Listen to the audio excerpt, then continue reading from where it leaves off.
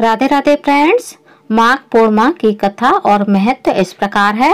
हिंदू धर्म में माघ पूर्णिमा तिथि का विशेष महत्व है। माघ पूर्णिमा के दिन चंद्रमा अपनी संपूर्ण सभी कलाओं से भरा होता है और यही वजह है कि इस दिन चाँद की पूजा करना बेहद लाभकारी होता है।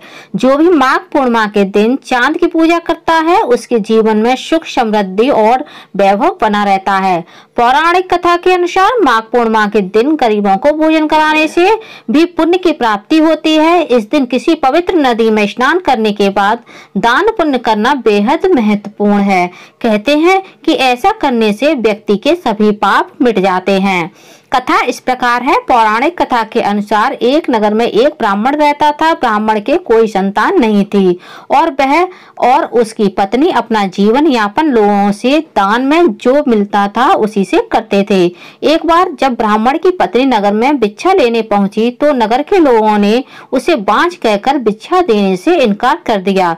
तब ब्राह्मण और उसकी पत्नी ने सोलह दिनों तक माँ काली की उपासना की। दोनों की भक्ति से माँ काली ने प्रसन्न होकर होकर उन्हें दर्शन दिए और ब्राह्मण की पत्नी को गर्भवती होने का वरदान दिया और कहा कि हर पूर्णिमा के दिन तुम दोनों दीप जलाओ और हर पूर्णिमा पर दीपक की संख्या बढ़ाते जाना, जब तक दीपक की संख्या बत्तीस तक न पहुँच जाए।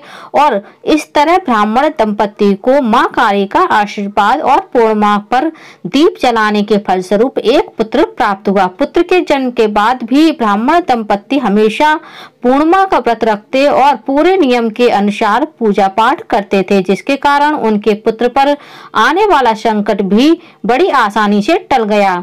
तभी से ऐसी मान्यता है कि पूर्णिमा पर व्रत करने और दान स्नान करने से भक्त की सभी मनोकामनाएँ पूरी होती हैं और सारे संकट दूर हो जाते हैं। फ्रेंड्स, आप लोगों को मेरा ये वीडियो कैसा लगा कमेंट करके ज़रूर बताइएगा और आप मेरे चैनल को सब्सक्राइब कर लीजिए। वीडियो को ज़्यादा से ज़्यादा लाइक कीजिए, शेयर कीजिए, साथ ही बेल आइकन को प्रेस कर दीजिए ताकि हमारे आने वाली सारी लेटेस्ट वीडियो की नोटिफिकेशन आप लोगों को टाइम से मिल सके। धन्यवाद फ्रेंड्स, ओम नमो भगवते वासुदेवाय नमः।